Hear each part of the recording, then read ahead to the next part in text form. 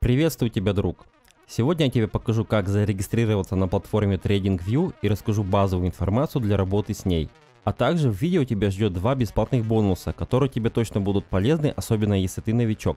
Открываем платформу по адресу tradingview.com. Далее нажимаем кнопку «Создать профиль». Еще раз нажимаем кнопку «Создать профиль».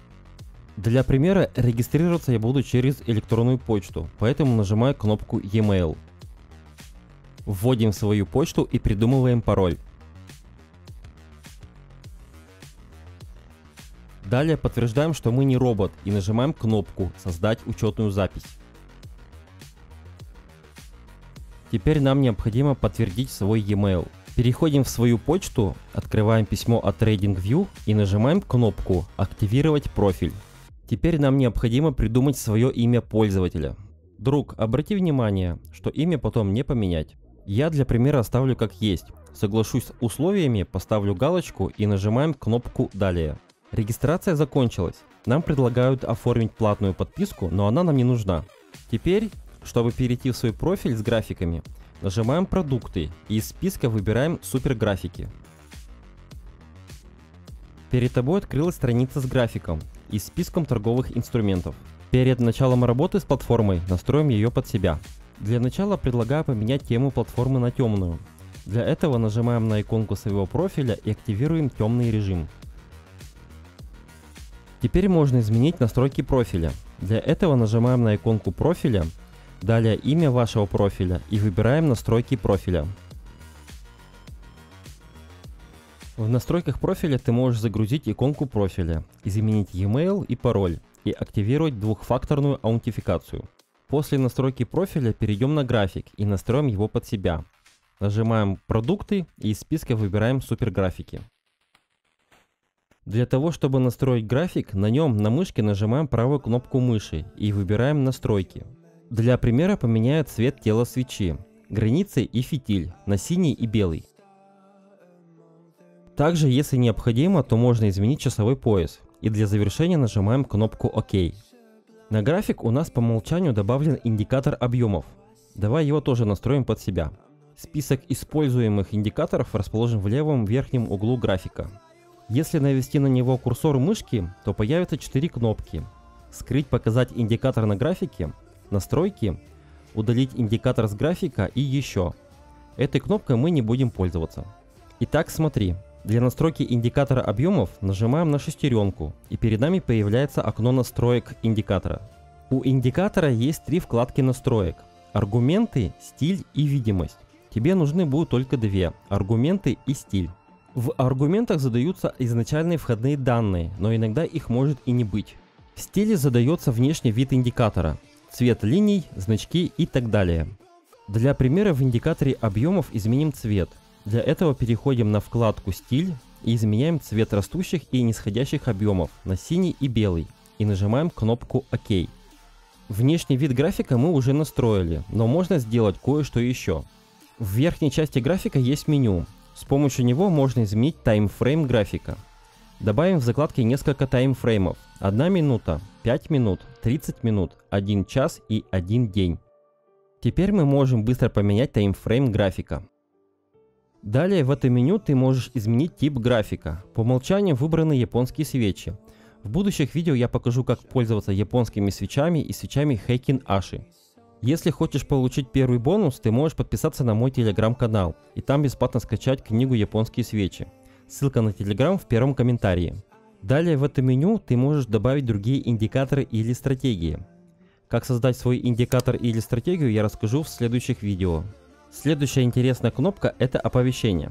В оповещениях можно задавать ситуации, при которых будут срабатывать оповещения, например, превышение цены определенного уровня.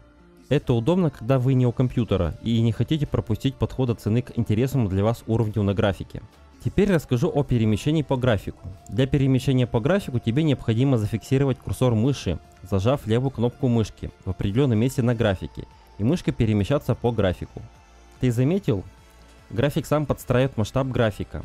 Если тебе необходимо отключить автомасштаб, то необходимо нажать кнопку авто, и ты сможешь свободно перемещаться по графику. Для изменения масштаба в ручном режиме необходимо изменить шкалу цены графика, а именно сузить или расширить шкалу цены. Если необходимо уменьшить или увеличить масштаб по времени, то необходимо покрутить колесо мыши. На графике можно не только добавлять индикаторы, но и рисовать различные графические объекты, например, линии, стрелки, лучи и так далее. Панель с графическими инструментами расположена слева от графика. На этой панели есть очень полезный инструмент, называется линейка. С помощью него можно измерить движение цены из точки А в точку Б в процентах. Также использовать линейку можно при помощи клавиши Shift. Зажимаем клавишу и курсором мышки выделяем участок на графике. Как работать с графиком я тебе рассказал, а сейчас покажу как добавлять новые инструменты в свои списки. Список инструментов находится справа от графика. Для начала нам необходимо удалить все инструменты из списка. Для этого курсором мышки наводим на инструмент и нажимаем на крестик.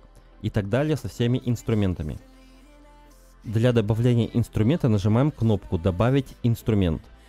В списке выбираем инструмент, биржу и нажимаем кнопку «Добавить список котировок» и инструмент появится в вашем списке. Если добавили инструмент ошибочно, то его можно удалить, нажав кнопку «Удалить». Для добавления инструментов большим списком необходимо нажать кнопку «Скринер акций» и выбрать «Скринер криптовалютных пар». Откроется список всех монет и бирж. Отфильтруем инструменты по бирже Binance. Для этого нажимаем на столбец биржа и ставим галочку на Binance. Найдено 1929 инструментов. Отфильтруем только фьючерсы. Для этого в строке поиска введем текст usdt.p и мы видим список из 185 инструментов. Для добавления их в наш список необходимо курсором мышки выбрать один инструмент. Далее нажимаем сочетание клавиш Ctrl-A, тем самым выделяем все инструменты. Далее нажимаем на любом инструменте правую кнопку мыши и выбираем «Добавить выбранные в список котировок» и все инструменты скопируются в наш список, с которым мы будем дальше работать. Для удобства удалим в списке лишние столбцы. Для этого нажимаем кнопку «Настройки» и убираем галочку «Изменения». На этом настройка платформы TradingView закончена, и можно начинать с ней работать. И напоследок второй бонус от меня. Сейчас я тебе покажу, как бесплатно можно просматривать на TradingView минимум два графика одновременно. Тебе необходимо зайти на сайт vivaldi.com и скачать этот браузер. Далее все стандартно. Устанавливаешь и запускаешь его. Потом в нем открываешь TradingView, авторизуешься и открываешь график. Далее на вкладке платформы нажимаешь правую кнопку мыши и дублировать. И так, например, три раза. Теперь на клавиатуре зажимаем клавишу Shift и выделяем все вкладки. На последней вкладке нажимаем правую кнопку мышки и выбираем «Разместить 4 вкладки». И теперь у тебя есть возможность просматривать 4 графика одновременно, абсолютно бесплатно. В следующих видео я покажу, как, будучи не программистом, написать стандартные индикаторы и создать свой. Если тебя это заинтересовало, то подпишись на канал и поставь лайк.